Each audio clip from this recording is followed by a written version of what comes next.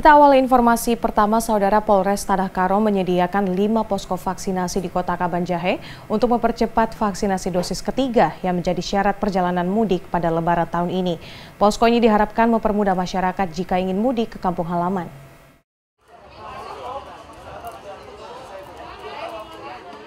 Guna mempercepat capaian vaksinasi booster, jajaran Polres Tanah Karo membangun lima pos vaksinasi COVID-19 di kota Kabanjahe. Kehadiran posko ini untuk membantu warga mendapatkan vaksinasi booster yang menjadi syarat utama mudik di tahun ini.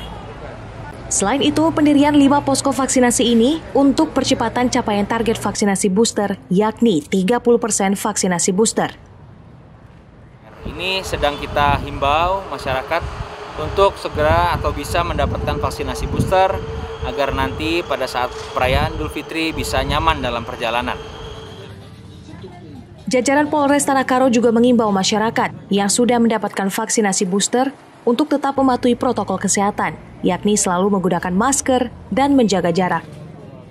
Tim Liputan, Kompas TV, Karo, Sumatera Utara.